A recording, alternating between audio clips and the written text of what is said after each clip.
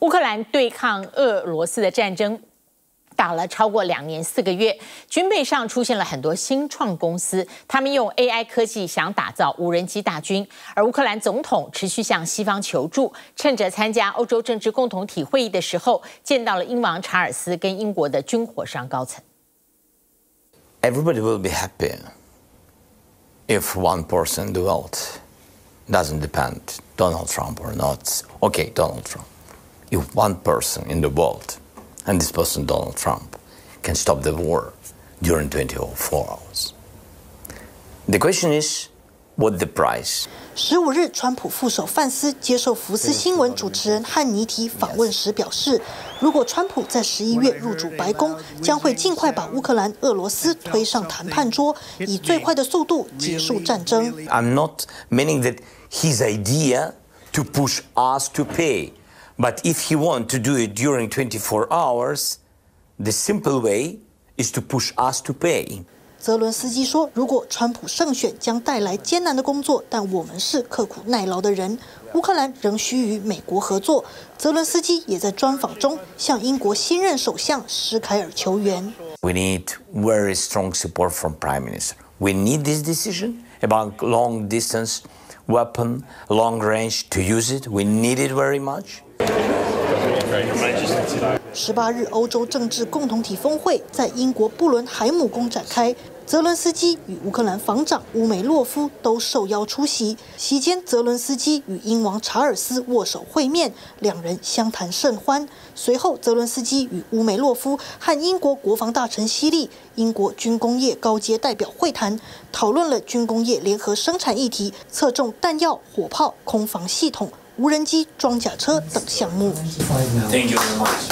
泽连斯基也与捷克总理费亚拉及斯洛维尼亚总理可罗布在场边会晤，签署安全合作及长期援乌协议。泽伦斯基表示，未来乌克兰将强化与捷克在军事技术领域方面的合作，与斯洛维尼亚则将在军事人员训练和产业筹资方面展开合作。Thank you so much for this. Thank you for support. And again, thank you very much, Peter, that we signed this security agreement. 乌克兰抗俄战争已经打了超过两年四个月，不仅频频向西方国家求援，也另辟蹊径自立自强。乌克兰新创公司就研发出了一种小型履带无人车“奥德赛”，可用网络远端操控，就算半路碰上树枝障碍物，也完全不怕。Working with the internet. So the operator can uh, sit in any area where you can took in internet. And uh, we have the capacity of our battery like 11 kilowatts and uh, which provide us uh, to travel like 30 kilometers uh, in one battery. 这种无人车的造价约三点五万美元，仅外国进口同级产品的十分之一，且只需花四天的时间就可以在简陋的棚场内组装完毕，所以可快速大量生产，当成简易的救援补给车辆使用。This type of vehicle will be the game changer, and in the nearest future. Uh, this drone, UAV drone, land drone, will be uh, made the main battlefield in uh, this war. The future are become. We are living in a future. Uh, we are living with drones, with machines, with robots, with AI. And uh, in our situation, we are understand that we must use the full power what uh, all around us.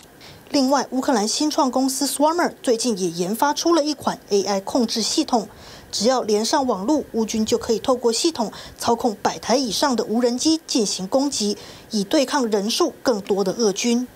Це він летить уже сам на автопілоті на нашому стіксі. де ми йому задали місію, і він сам побудував маршрут. Ми просто йому сказали, ми хочемо туди. Побудували, де у нас не можна літати. І от він зараз облітає всі ці обмеження і летить. 目前，Swarmer 的控制系统已经可以指挥多台无人机进行各种空中、地面侦察和攻击任务。专家指出，AI 无人机控制系统可能还是需要人类介入操作，以防系统在攻击目标选择上出错。 TVBS 新闻综合报道。